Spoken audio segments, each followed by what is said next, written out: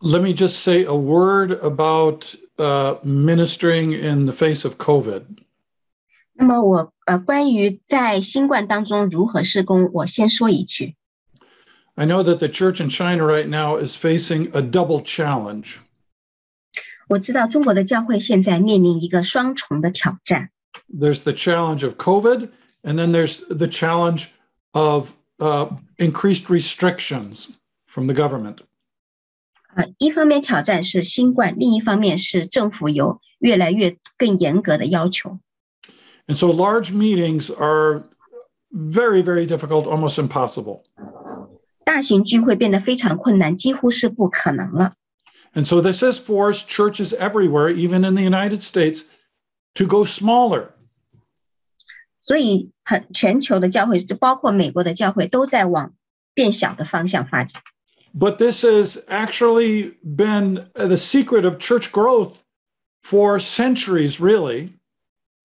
可是事实上，几个世纪以来，教会增长的秘诀就是小型教会。 That the greatest church growth has occurred often just in small home sized groups. 那最大的教会增长就是从很小的家庭聚会开始的。 But in order for that to happen, you have to equip those small group leaders. 但是如果你要让从从很小的家庭聚会增长到较大的教会，你必须来装备这些组组小组带领人。 And this means that pastors and leaders have to change the way they do ministry. 也就是说，牧者和领袖要改变你们牧养的方式。 The pastor cannot give spiritual care to 100 people. 一个牧师他不可能对一百个人多做属灵的关怀， But what he or she can do is to equip a few people who then equip other people. 但是牧师能够做的是，他先去装备少数几个人，然后这几个人再去装备更多的人。 And so you have to change your paradigm for ministry from being a caregiver to an equiper and mobilizer. 所以你需要改变你的牧养的模式，从这个关怀者变成一个装备者，变成一个推动者。And I think the circumstances we're facing now is, is pushing the church to empower others, and that will lead to spiritual reproduction. 那么我相信目前的情况就是逼得教会必须要去啊，让其他的人充满能力，而这个就能够带来教会的倍增。I find a lot of pastors are not willing to do that. 可是我发现很多的牧师不愿意这样做。 And you can be wishing for the good old days, but you have to minister in the now. 那么你你们可以去啊回味过去那些好时光，但是现在的牧养必须要有这种方式。 And Ephesians 4 says that God gave the church pastors and teachers and evangelists and for the equipping of the saints. 那么呃，以弗所书第四章是说，神赐下的有做使徒、做先知、传福音、牧养、教导的，为了是要装备圣徒。 It's equipping them for the work of ministry, not just preaching to them. 所以你要做的是装备他们，让他们去做事工，而不只是对他们讲道。 So, especially under these circumstances, I ask, how are you equipping people? How are you training others to teach others and to reproduce ministry? 所以在这种情况下，我要问大家的一个问题是：你如何去装备他人？如何你去培训其他人，让他们可以去做教导？如何带来教会的啊繁殖？ There is a chapter in the Global Church Planting book about equipping others for ministry in the context of church planting. 在这个全球之堂这本书里边有一个章节，就是专门讲到啊如何植堂，如何装备他人。Well, I, we've got a little bit of time. I believe you can write a question in the chat box and it'll be translated for me. 所以我们还有一点时间，大家如果有问题，可以发在这个聊天栏目里边，我们可以来啊回答。Dr. Ott, uh, the, the question and answer that we prepared in advance for you, uh, there are yeah. four questions. You could start with those first if you like. Okay. Um, the question has come up about my viewpoint about church planting movements.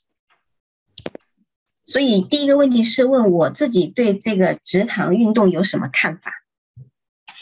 So church planting movements uh, there's all different kinds of church planting movements.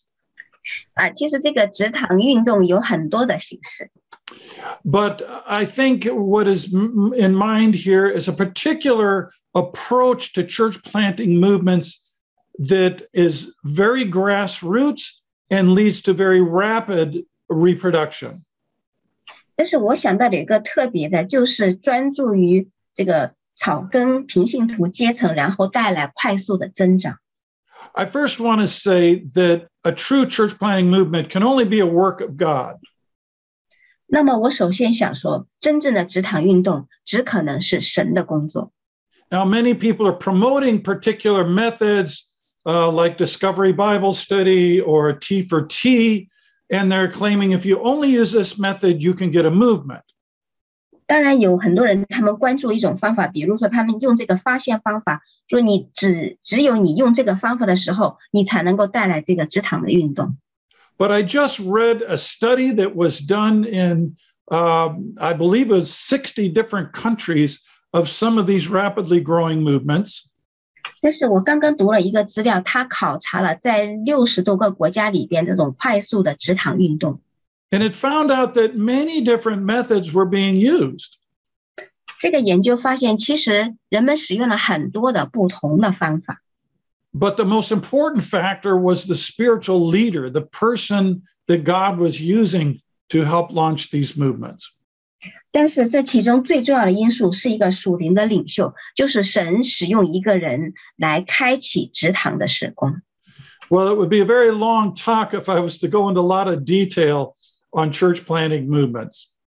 当然，如果要讲到这个职堂的这个细节，就要很多的时间。 But we should never rule out the possibility that God can do a wonderful work like this. 但是我们永远一种，永远不要排除一种可能，就是神能够成就奇妙的事。 Thousands came to faith in Christ in Jerusalem, 在耶路撒冷有成千上万的人归向耶稣， and there were even tens of thousands by the time we get down to the book end of the book of Acts, just in Jerusalem. 那么即使在使徒行传的末尾，我们看到啊、信基督的人在耶路撒冷也是成千上万。 So I think I've already answered the second question. Maybe we can just go to the third question. 嗯，我想我已经回答了第二个问题，现在我们来看第三个问题。第三个问题， 在宗教不自由的国家，新的职堂与母会的关系界限如何处理？职堂牧者总是感觉母会处处设限，母会仍然想部署职堂的一切，职堂的牧者应该如何顺服安排？ Well, I think that this question is usually a bigger issue if you're having more traditional mother daughter church plants. 那我认为，如果你的这个母会是 偏于传统的话，这个问题可能会更大。 In other words, when a, a larger church sends out a certain number of people who then um, uh, become that daughter church. 那么通常是这个很大的教会，他们差派出去一批人，建立一个子会。 Now, under the present circumstances, at least in China, that's not happening. 但是在目前的情况下，呃，具体来说，比方在中国，这种情况似乎还没有发生。 But I believe that the only way we're really going to reproduce churches and really reach people for Christ in larger numbers is empowering others to plant churches. 但是我还是相信，如果我们要啊、呃让教会倍增，能够呃达到更多的数目，啊、哦 sorry，I I missed the last part。 Yeah, that we need to uh, empower others to be able to plant churches. Okay, thank you。那么我们要做的仍然是能够 装备其他人，让他们能够去做事工。 And we find this in, in Acts chapter 14, verse 23. 啊、我们在使徒行传十四章的二十三节有看到， Paul and Barnabas had just planted several churches, 保罗和巴拿巴刚刚建立了几个教会， and they were fairly young believers. 那里都是年轻的信徒。 And yet they appointed elders and commended them to the Lord and then left. 但是保罗和巴拿巴仍然为他们指派了长老，把他们交给主，然后他们两个就离开了。 And so they trusted the Holy Spirit to lead those, those new believers and those young churches to be able to provide their own leadership and not be under the control of Paul or Barnabas. 所以他们相信圣灵能够带领这个年轻的信徒和年轻的教会建立起他们自己的领导体系，而不是一直在保罗和巴拿巴的权柄之下。 Now, Paul continued to visit the churches and write letters to them. 当然，保罗仍然去拜访这些教会，给他们写信。 But it gets back to the point I made earlier. We've got to have a ministry model that equips and empowers others and releases them to do ministry. 但是回到我们之前提到的一点，我们仍然需我们的施工模式仍然是要装备他人，让他们得到能力，然后释放他们去施工。 Okay, the fourth question 好看第四个问题，职堂如何取舍敬拜模式，或者是为施工导向做选择？ again, we'll talk about this a little bit in the church planting course. 啊，呃，关于这个问题，我们会在职堂课程当中有讨论。 And the book by Tim Keller, Center Church, which you have available, deals with some of these kinds of questions. 呃呃，Timothy Keller 他的那本书里边也探讨了这个方面的问题。 We don't see any one style of worship in the New Testament. 我们在新约当中并没有看到说有某一种敬拜的方式。 The Jerusalem Christians were still worshiping in the temple, and Christians in the Gentile world were meeting in homes. 那么，嗯，在耶路撒冷这些犹太人仍然在这个呃会堂里边敬拜神，但是一些外邦人他们会在家里边来敬拜。 Scripture only gives us very general concepts about how worship should be conducted. 圣经里边关于如何做敬拜，只是给出了一些啊、呃通用的一些概念，普遍的概念。For example, in 1 Corinthians 14, it should be orderly. 比如说哥林多前书十四章讲到敬拜应当遵循秩序。Uh, Ephesians and Colossians talk about singing songs to one another and encouraging one another.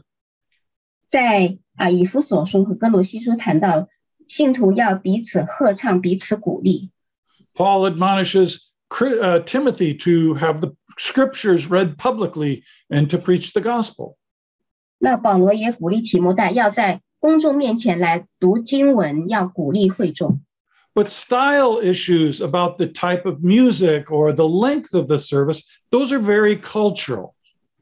但是至于关于这个音乐是什么风格，其他问题，这些是啊、因文化而异的。 And so, with those style questions, we ask what is natural in the culture of the people we're trying to reach? 所以说到这个敬拜风格，我们可能也许要问，对我们想要去传福音的那群人来讲，他们一种自然的方式是怎样的？ And so, I believe that the style of worship should be a decision of each local church. 因此，我相信敬拜风格的选择应该由当地的教会来决定。 And they should be sure to follow these general biblical guidelines, 当然，他们也还仍要要遵循圣经当中这些通用的原则。 but they have much freedom to adopt uh, the those aspects that will be natural to the local culture. 但是在呃采用本地人觉得自然的方式方面，他们应该有比较多的自由。 So I don't know if we have any time for questions in the chat or if you need to close. I, I can go a little longer, but uh, it's getting late. I do have just one question for you, Dr. Ott. Uh, in the last two years, because of the pandemic, uh, we heard a lot of uh, uh, church not being able to meet. Uh, and even if they want to meet, they have to go online, but people are not ready to go online. And uh, there are a lot of technology issues that a church normally not equipped have to deal with. Uh, but then when they are finally ready, they lose people already. Uh, when they are able to come back to worship, uh, they, they lose people.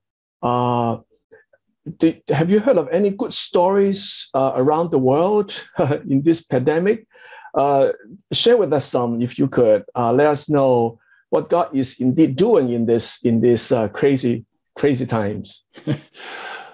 Well, one thing he's doing is God is doing is uh, purifying the church. 所以在这个困境当中，神做的一件事情是一，就是洁净他的教会。 Many people have attended church uh, not because they love Jesus and because they want to worship and fellowship. 那很多人去教会，并不是因为他们爱基督，或者他们想要敬拜，或者他们想要呃彼此团契。 and they don't come back. 那这些人他们也不会回到教会。 I have heard encouraging things that one church had moved to sort of a house church uh, structure, 我听到一个呃能够鼓励的例子是，有一个教会，他们就是转移到了类似于家庭聚会的方式。 and some lay people were learning to start teaching the Bible that they had never done before. 那么还有一些平信徒，他们就开始学习怎么样教导圣经，而这件事他们之前都没有做过。 I heard of one house church that was had an online house church 我也听说有一个家庭教会，现在已经开设了一个网上的家庭聚会。 and they were having visitors, anonymous visitors coming in via online to look at their house church. 那么他们发现有一些啊、访问者，他这些访问者匿名，但是呢，他们到网上来看他们的崇拜。 But let's be very clear God created us with bodies. 但是我们要清楚一点，神是把我们放在一个肢体当中， And we long for the day that we can, in person, with one another, be physically present to fellowship and worship.